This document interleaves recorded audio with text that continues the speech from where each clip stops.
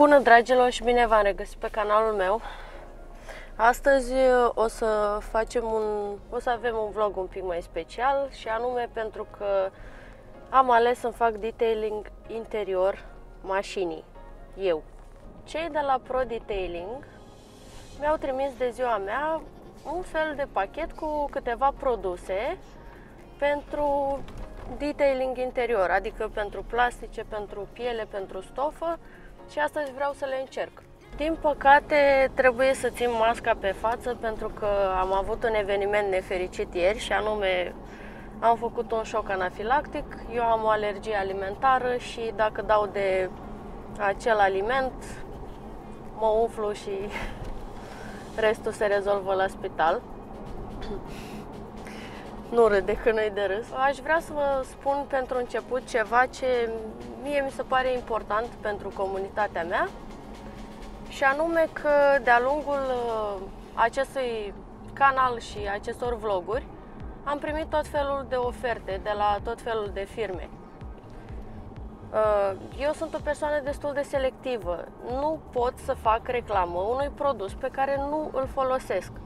Asta este părerea mea. Nici nu dau în cei care fac reclamă la produse pe care nu le folosesc. Fiecare, evident, face ceea ce vrea și ce dorește, dar uh, eu așa sunt. Adică prefer să arăt real ce produse folosesc eu și dacă sunt sau nu mulțumită de ele. Uh, au fost foarte multe mail-uri cu oferte, dar sunt foarte selectiv. Adică ceea ce folosesc eu și am fost mulțumită sau așa, vă arăt și vouă. Restul nu mă bag. Acum trebuie să ajungem la o hală, la niște prieteni și acolo vă voi arăta produsele pe care le-am primit de la Pro Detailing și le vom testa. Așa că ne vedem acolo. Vedem acolo de ce ne ocupăm. Eu mi-am pus în cap să mă ocup de scaune care sunt semi-piele, piele și textil, volanul, plasticele din interior, pianul black și ce mai avem. Mai sunt și câteva elemente din aluminiu și bordul, evident. Mocheta. Să, mocheta, să vedem ce putem să reîmprospătăm. Bună dragilor, să știți că am ajuns la hală și vreau să vă prezint acum ce produse mi-au dat cei de la Pro Detailing pentru a-mi face detailing-ul interior. Deci avem așa, lavete de mai multe tipuri, acest pieptănaș pentru textilul din mașină, că la mine scaunele sunt semipiele, textil și piele. Avem pensule pentru, de diferite dimensiuni. Asta e pentru bord, asta e pentru spațiile mai micuțe dintre bord și celelalte plastice. Și apoi mai avem așa, soluție de spălat geamuri. Mai avem o soluție aici pentru geamuri uh, ca să nu rămână apa pe geamuri atunci când plouă la viteză. Uh, mai avem acest produs pentru pielea din interior, să reprospăteze pielea. Asta e pentru toate tipurile de suprafețe. Eu vreau să-l folosesc la partea de textil din mașină. Din nou o soluție pentru bord, pentru plastice și așa mai departe. Acesta e un recipient în care trebuie să facem soluțiile. Adică, într-un recipient de genul, trebuie să punem într-un raport de 1 la 10, adică 1 la, 10% ar fi soluție și 90% apă destilată sau apă simplă. Așa. Și mai avem un dezinfectant de mâini. Pentru că e perioada așa cum e și trebuie să ne protejăm. Haideți să vă arăt cum uh, aplic aceste soluții. Deci, momentan, interiorul arată cam așa. Sunt câteva pete destul de pronunțate. În primul rând aici, pentru că am scăpat eu cafea, în al doilea rând pe marginile acestea de piele, pentru că atunci când stai în mașină te mai mici de colo-colo și uzezi stratul ăsta de piele. Să vedem și bordul. arată mai ok pe filmare decât e în realitate. Volanul, cred că vă dați seama, cei care știu. Dacă strălucește volanul, nu e ok, înseamnă că e murdar. Și e cazul la mine. Deci trebuie să-l spăl și pe acesta. Plasticele acestea nu îmi plac cum arată acum. Uh, deci, mașina chiar are nevoie de detailing. Așa că hai să facem soluțiile și vedem cât de bune sunt și dacă merită să le luați și voi.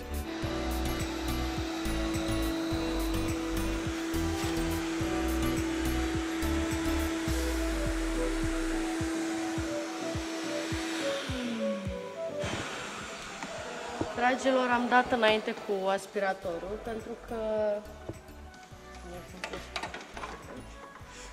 pentru că trebuia să scot uh, praful din mașină, am scos și preșulețele și acum haideți să vă arăt că am preparat deja soluția.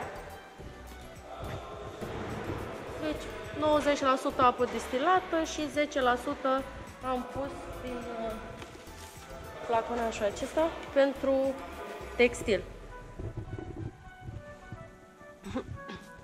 E pentru tot interiorul, dar vreau să, să-l folosesc pe textil. Și o să dau pe scaune. Să vedem dacă, să vedem dacă face spumă. Face.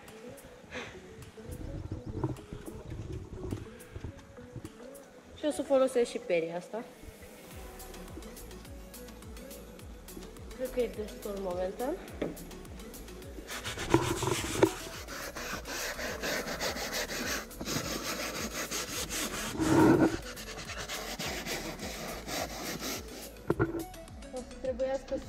Mai mult aici, o să se ude tot scaunul.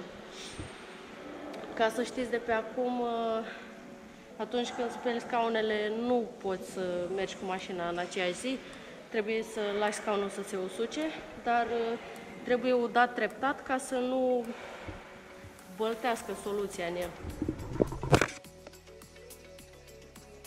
Așa că treptat o să ud toată partea de textil ca această soluție să lucreze.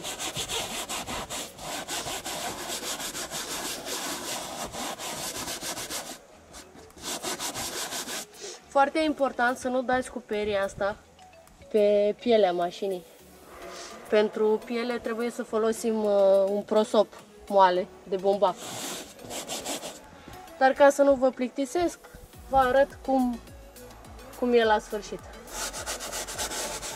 După ce termin să dau cu soluția pe toate scaunele, pe partea de textil, trebuie să folosesc un aspirator cu apă, uh, injecție extracție se numește, și uh, ca să pot extrage tot praful rămas în scaun. Terminat cu partea de textil la scaun, o să dau cu aspiratorul de care vă ziceam mai devreme, cu apă.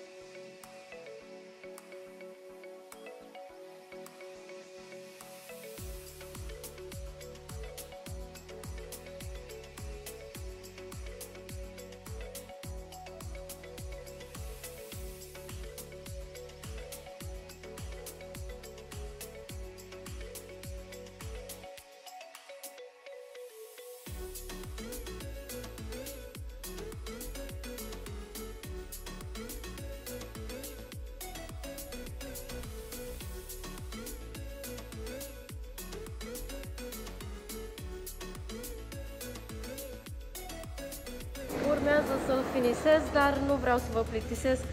V-am arătat așa mare cam uh, cum ar trebui făcut. La atingere scaunul e destul de ud, deci e clar că în momentul în care termin ce am de făcut aici, mașina va trebui să stea în garaj măcar până mâine, până se usucă. Puteți deja să vedeți diferența dintre scaunul acela la textil și acesta. Ăla e cel la care am umblat un pic și ăsta e ăla de la șofer care are și cafeluț în el. Dar acum voiam să vă arăt uh, cum facem bordul. Asta e soluția lor. Hai să ne ocupăm de plasticul acesta de la bord. O să dau treptat și o să șterg cu laveta ca să nu se usuce până ajung acolo, că dacă dau din start cu mult uh, o să se usuce până ajung eu să șterg. Are un miros foarte plăcut.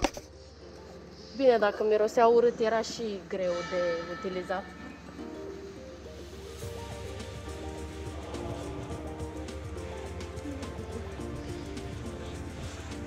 O să dau un pic și pe piano black,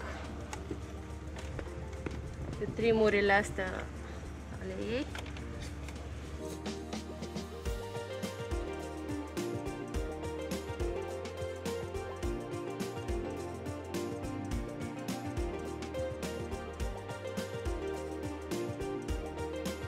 și în general trebuie să faceți o mișcare circulară pentru a șterge bine suprafețele pentru a nu rămâne acele dungi drepte.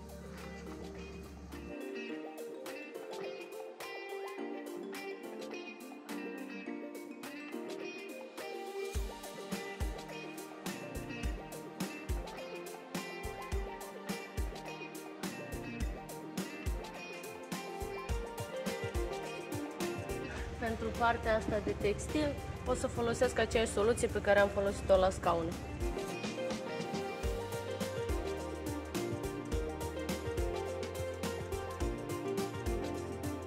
Terminat cu textilul de la scaune și acum trebuie să mă ocup de lateralele scaunelor și anume partea cu piele. O să folosesc acest produs pe care nu-l diluez, i-am pus doar uh, acest pulverizator și folosesc o lavetă pentru că pe piele nu avem voie să folosim peria asta sub nicio formă. Și trebuie să aplicăm pe fiecare părticică câte puțin și să frecăm partea de piele. Eu dau așa câte puțin ca să fac fiecare colțișor încet pentru că dacă dau foarte mult ajunge pe partea cu textil și nu, nu-mi convine. Am alte, altă soluție pentru textil. V-am arătat-o un pic mai devreme. Dăm așa.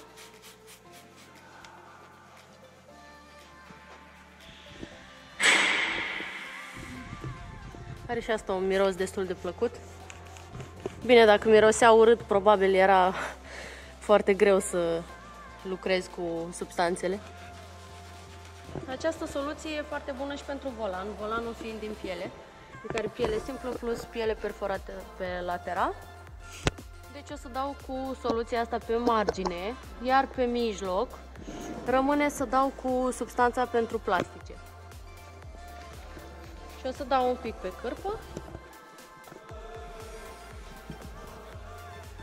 Nu știu cât se vede pe cameră, dar volanul strălucește destul de mult. Asta înseamnă că pielea nu e tocmai curată. Și în momentul în care o să aibă un aspect mai mat, o să fie mai curat. Plus că uitați-vă pe cârpă, deja se vede ceva murdărie luată de pe el.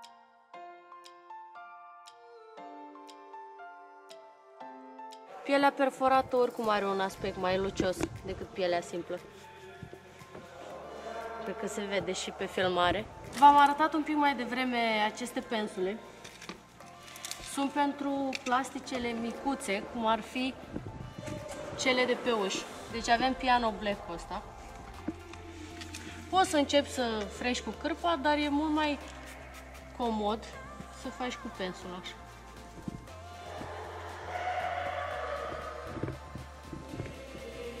Trebuie apăsat foarte tare. Pensula e foarte moale.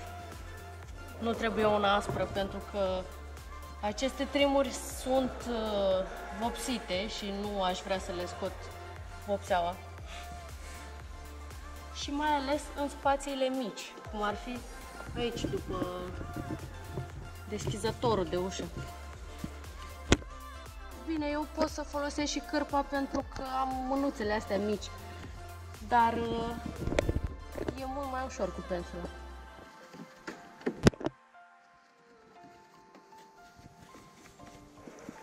Și printre butoanele astea.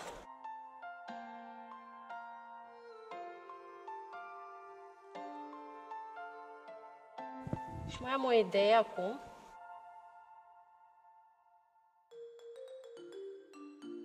Uitați-vă cât de ușor e să curățați grila cu peria asta. Pare ceva ce mulți nu ar sta să facă, dar uh, mie mi oferă multă plăcere să bibilesc mașina.